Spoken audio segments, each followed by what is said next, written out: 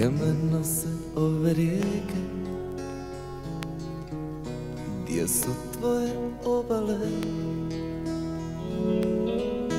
Da li su mi još daleke? Da li su iste ostale? Mene zovu daljine Ali još ponekad vraćam se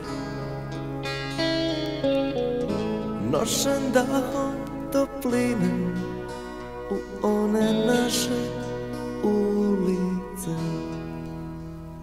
Tamo gdje bila je Kiša i duga nebo samo za nas.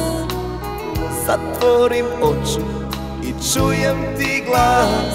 Vatra velika kad čežnja otvara Riznice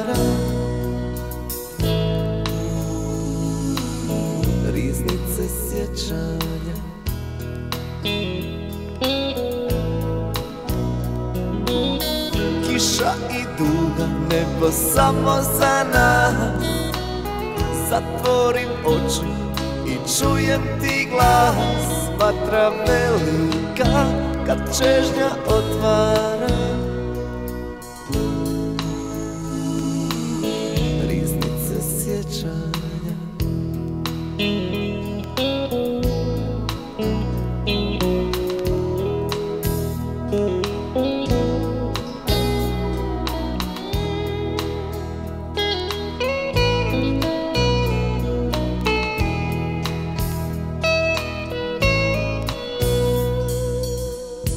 Gdje me nosi ovo more? U kojoj kapi spavaš ti? Vrijeme nam stavlja bore. Polako nas razdvoji.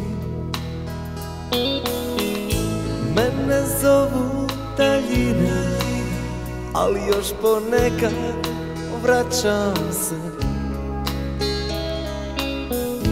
Nošen dahom topline U one naše ulice. Tamo gdje bila je Kiša i duga nebo samo za nas. Zatvorim oči i čujem ti glas. Vatra velika kad čežnja otvara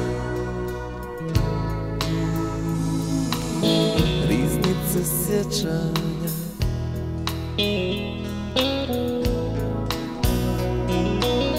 Kiša i duga nebo samo za nas.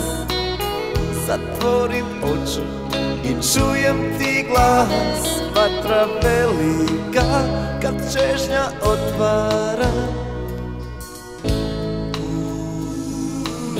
Riznice sjećanja